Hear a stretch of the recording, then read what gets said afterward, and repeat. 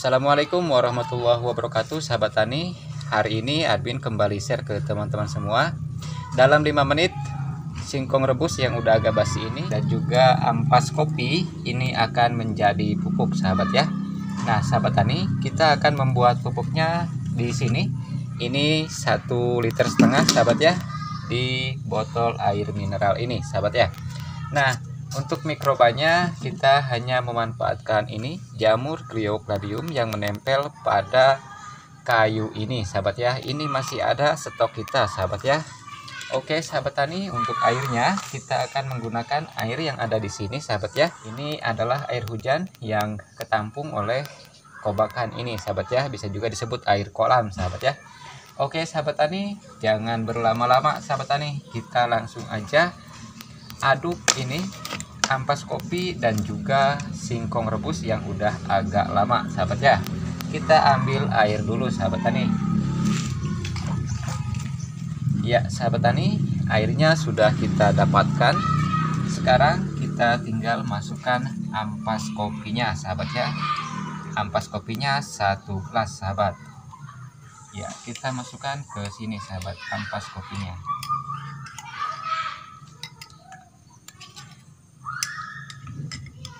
Nah mungkin teman-teman pada penasaran kenapa sih harus pakai ampas kopi? Ampas kopi ini juga bisa menjadi makanan untuk mikroorganisme. Salah satunya makanan dari jamur sahabat ya.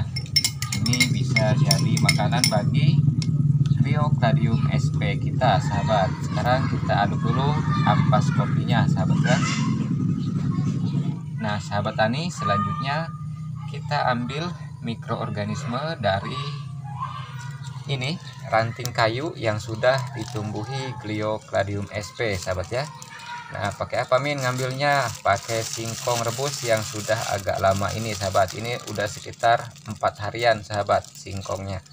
Ini bisa diganti sama yang lain nggak min? Bisa diganti dengan nasi juga boleh sahabat ya. Nah, sahabat tani kita colek-colek Gliocladium sp nya ini dengan singkong rebus ini sahabat ya. Kita masukkan ke sini sahabat. Nah sekarang kita colek-colek lagi sahabat.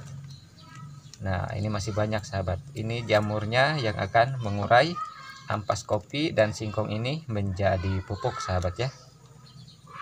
Ya kita ambilin sahabat. Nah ini sahabat ya seperti ini bentuknya. Nah hijau sahabat.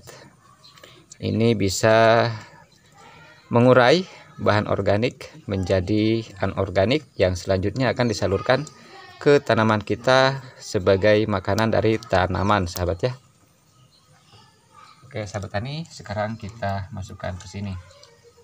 Nah sahabat tani kalau kurang puas bisa dicuci di sini langsung sahabat. Nah seperti ini. Kita cuci di sini menggunakan ampas kopi dan juga singkong rebus sahabat ya. Nah, selanjutnya kita hancurkan semua singkong rebusnya ini ke sini sahabat ya.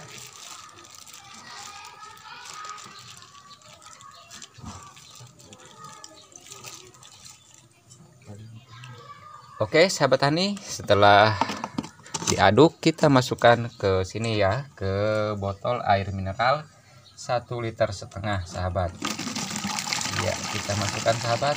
Ini dalam 5 menit kita bisa punya pupuk organik sahabat ya. Pupuk organik cair.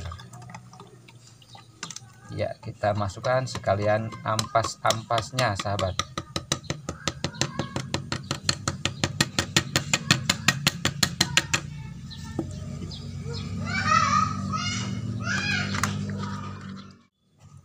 Oke sahabat tani sambil ngebilas ini kita tambah lagi airnya sahabat ya.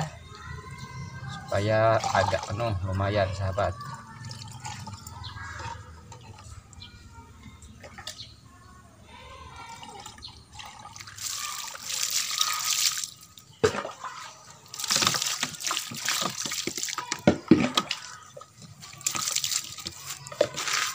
Oke sahabat tani selanjutnya kita kocok sahabat ya. Fermentasinya aerob aja ya udara tetap masuk. Jadi kita hanya tutup saja seperti ini. Dikendorkan aja supaya udara tetap keluar masuk sahabat ya. Fermentasi minimal 15 hari sahabat ya. Nah sahabat tani untuk dosisnya kalau spray gunakan 100 ml ya setengah gelas per tangki ya per tangki 16 liter. Kalau untuk kocor gunakan satu gelas per 10 liter air. Oke sahabat tani terima kasih sudah menyaksikan video ini dalam 5 menit kita punya pupuk organik cair 1 liter setengah sahabat. Kalau 1 liternya 50.000 berarti 75.000 rupiah sahabat ya. Oke sahabat tani terima kasih sudah menyaksikan. Semoga video ini bermanfaat. Wassalamualaikum warahmatullahi wabarakatuh. Salam hijau